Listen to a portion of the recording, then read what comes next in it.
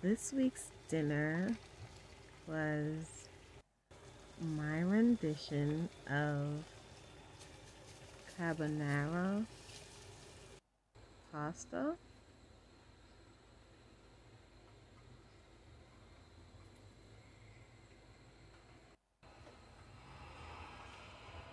So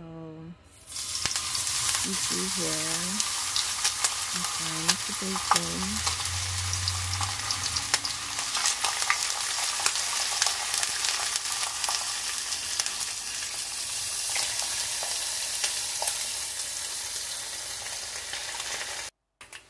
Personally, for me, I don't like my bacon too crispy, so I um,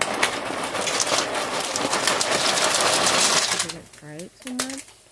But here I'm putting in the pasta.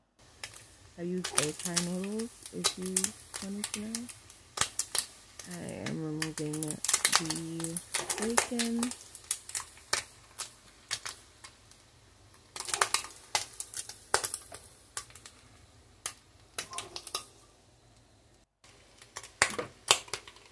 like a lot of so I put another round. That's me flipping it. I, I like it cooked, but um, not like too crispy.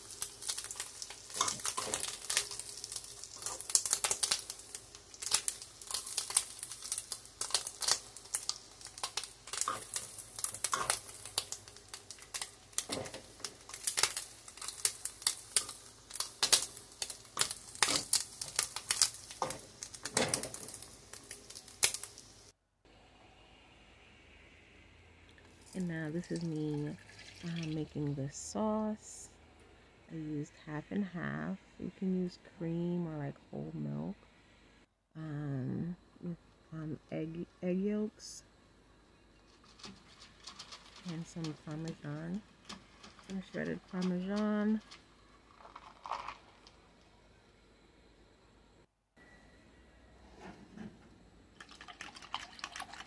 And we're going to whip that up.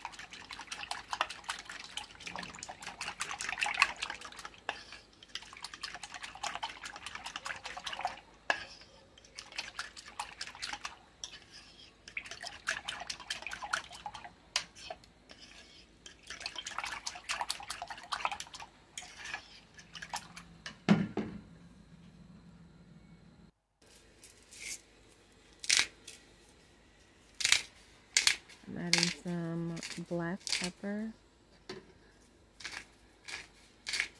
to it bit.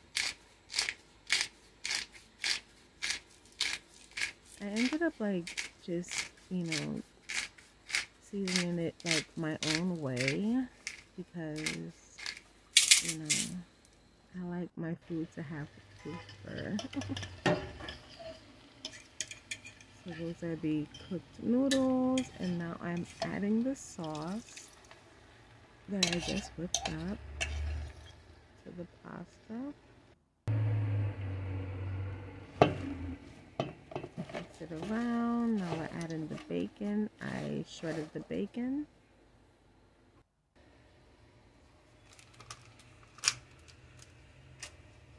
And now I'm adding a little cream cheese.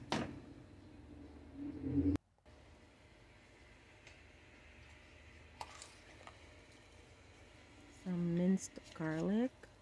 Because, you know, garlic just makes everything taste better.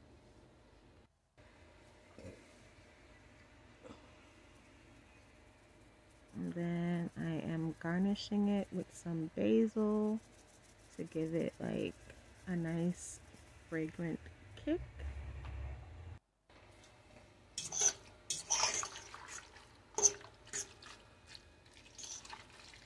Mixing it all together. And voila! Hey guys! So, I wanted to give an update on my um, heat damage, my hair.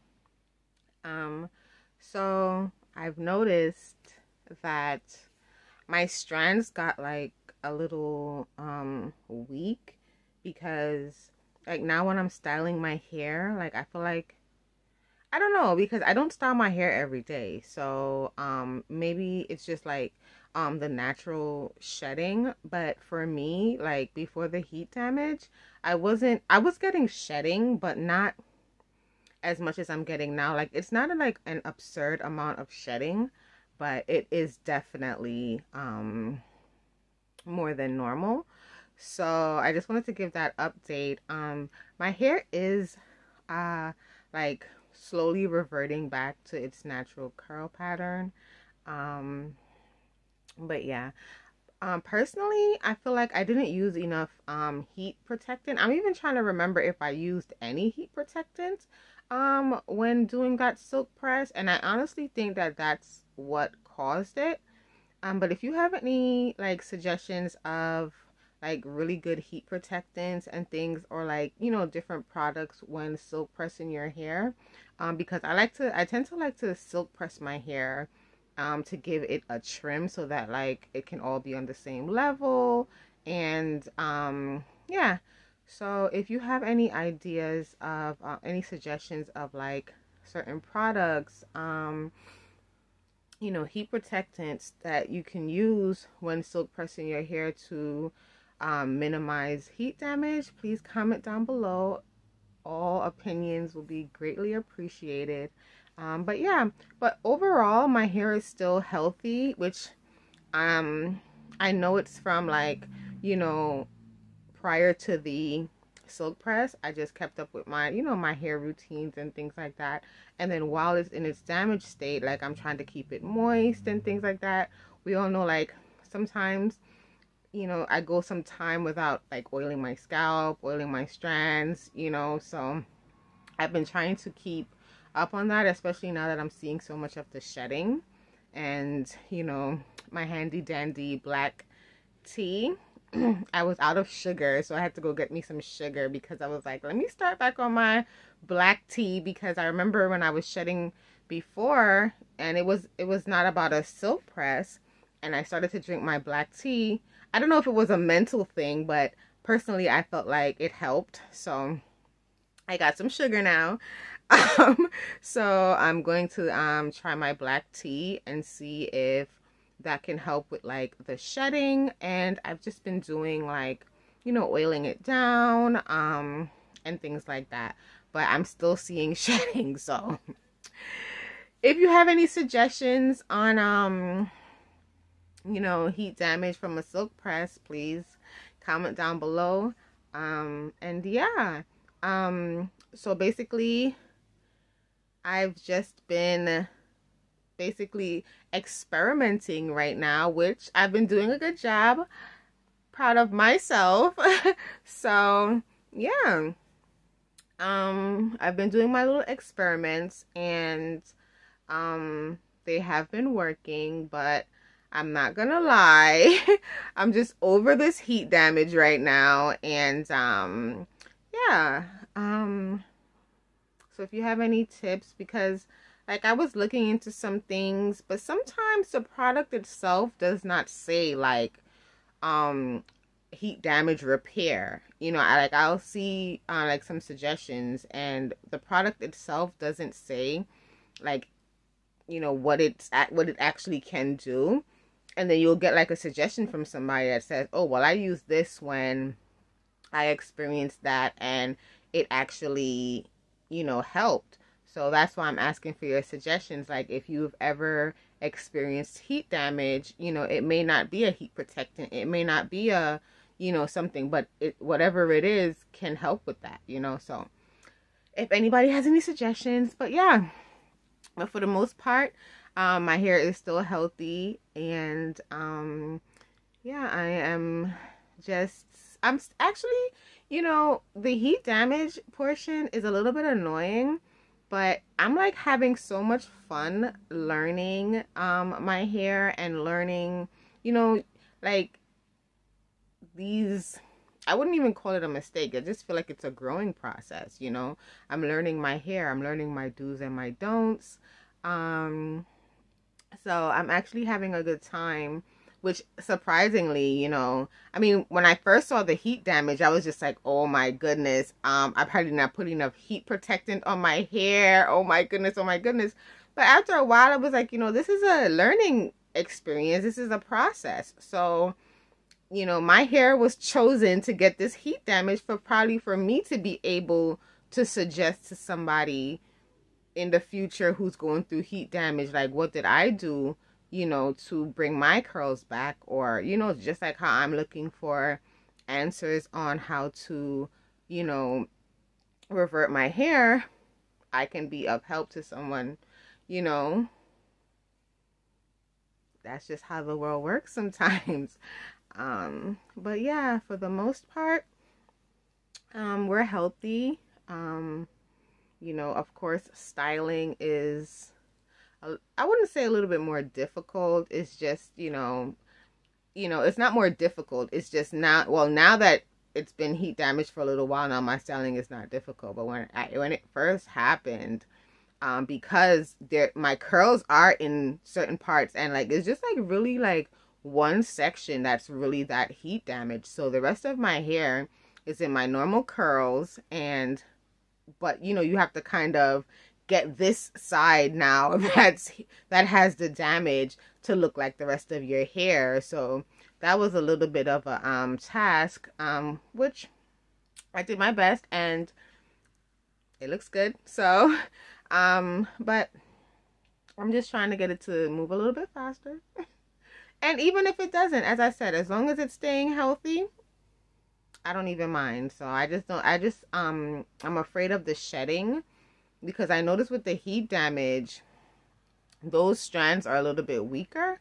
So I just don't want at some point, you know, it's so much shedding, so much shedding, then I start seeing like bald spots or you know, like thinning edges, which I, you know, took so long and took all my time to build and and grow healthy and things like that so i've just been using like a lot of um leave-in conditioners um oils you know keeping it moist um so it has a less chance of breaking and it has been working but i do notice because sometimes i put it in a ponytail um and i do notice that like you know i'll leave it in the ponytail and then i'll take it out of the ponytail and then I'll have a little bit of shedding.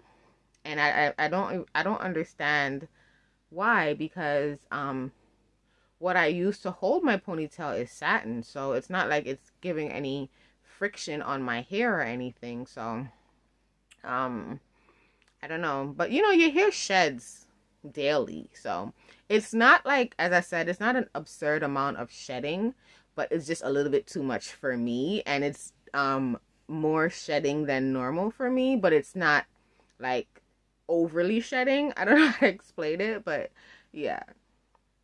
It's just shedding a little bit. And you know my hair is fine, so I need every last strand that's in my hair. Like I don't have thick hair, so I don't have much room for all of this shedding. so that's what probably freaks me out. Maybe if I had like a thick head of hair and I was seeing the shedding and maybe even a little bit more than normal, it wouldn't freak me out so bad. But I already have thin hair. Like my whole head, a person with thick hair, my whole head is like a quadrant of their head. So I need all my strands, okay? So if anybody has any um suggestions, it doesn't even have to be heat protecting. It could just be like, you know, like a maybe like a conditioner or some sort of product to bring back your hair to life and things like that uh, comment down below and yeah um so that's the update that i wanted to um if you have any other questions you know about heat damage and like the little my little research and my little trial and errors that i'm doing you can always comment down below i'll take you along my journey anything that you really want to know you comment down below and I do plan to take you guys on my journey on repairing my hair anyway. Um, and I also want to start doing some more like vlog styled content. Um, I feel like I don't speak to you guys enough. Um, so I feel like I'm going to start doing more vlog style. So um, if there's like, you know, whatever interests you, whatever you want to see me do, you know, comment down below. If you don't want to comment down below, you can always email me and I will respond. And yeah, so 2023, we're coming through strong and we're going to do more vlogging. I would like to interact with you guys more. So I'm going to speak to you guys more. And yeah, you just comment down below anything that you would like to ask me. You can always email me if you don't want to be all out in the public. And that's that. But I do appreciate you all for watching me each week. And um, comment down below if you would like to see me do more uploads. Would you like like a, a middle of the week upload? Like, you know, same weekend upload, but then like a middle of the week upload. Um, you know, like little things like maybe how I styled my hair. Um, you know, the season out, uh, you know, so, uh, inspirational seasonal outfits, things like that. You can, you know, if you want me to upload like midweek along with my weekend upload, you know, comment down below if you guys would like to see me more often because I'm thinking about doing that as well. Um, and yeah, so thank you all for your support and I'll see you next time.